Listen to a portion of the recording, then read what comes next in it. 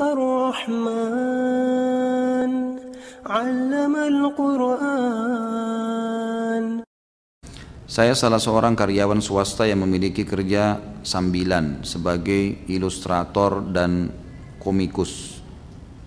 Selain itu, sejak saya kuliah saya menjadi seorang pelukis wajah di Mall Panakukang Makassar. Sekarang saya mau berhenti melukis, menggambar dan menjadi seorang ilustrator karena ingin berjalan di jalan yang betul. Pertanyaan saya, apa yang saya harus lakukan dengan gambar-gambar saya yang sekarang?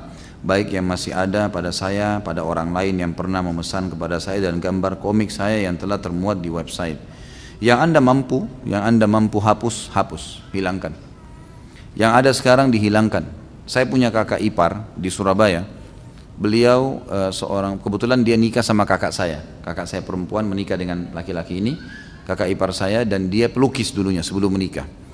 Rumah penuh dengan lukisan dan memang luar biasa. Dia kalau duduk melukis itu cepat sekali dan bagus kalau jadi gitu kan. Subhanallah duduk dengan saya ngobrol sebentar Allah kasih hidayah. Bukan dari saya Allah kasih hidayah. Tiba-tiba dia meninggalkan itu. Lalu dia tanya kira-kira bagaimana caranya mengalihkan hobi saya ini? Saya memang hobi di sini. Lalu saya berikan masukan anda boleh ya.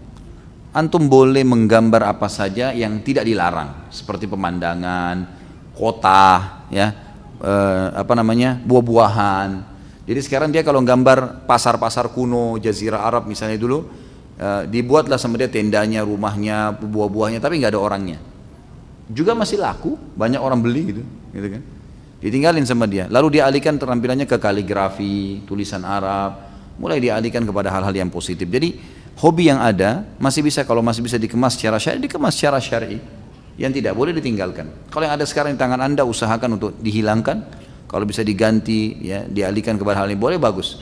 Kalau yang sudah terlanjur terjual bertobat kepada Allah Subhanahu wa taala, gitu kan? Dan kalau ada yang di tempat-tempat lain yang masih pokoknya intinya masih bisa dihapus, dihapus di website, di tulisan, di aset yang disimpan atau apa saja.